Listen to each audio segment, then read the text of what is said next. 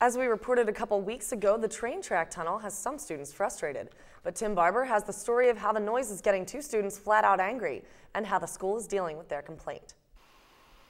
Across the street from Lindner Hall lays the Rouge Carpet, a single story brick house where Jack Morrissey Alex. and Alex Luxembourg live. Inside, Jack and his girlfriend are making lunch. With help from dog Lily, of course. While they cook, lights flicker over ripples in the pots. It sucks. I mean, I get woken up at 8 o'clock every morning by the sound of a jackhammer breaking through the earth. When we first talked to Alex, there was silence. The, the vibration is the is the worst part. But then,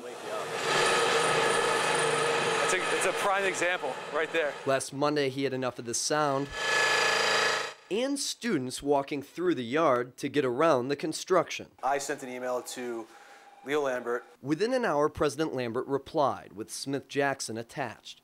Later that afternoon, Dean Jackson and Jana Lynn Patterson knocked on their door. On the front steps, Smith Jackson and Dean Patterson. It was great. I mean, they were very appreciative. They were very, it was great. Um, little surprised. They were a little surprised. The four discussed the idea to build a bridge to keep the students off the lawn, but that didn't solve the noise nuisance. So the deans gave the students the keys to this apartment across the street from the Acorn Inn.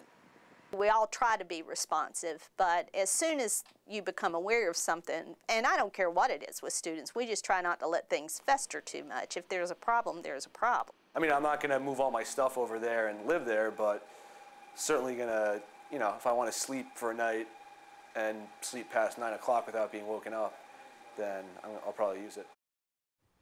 Alex and Jack say they plan on using the apartment primarily for studying, but the school is still providing beds if they change their mind. So Sam and Drew, just one day, two deans, a president, and a problem solved.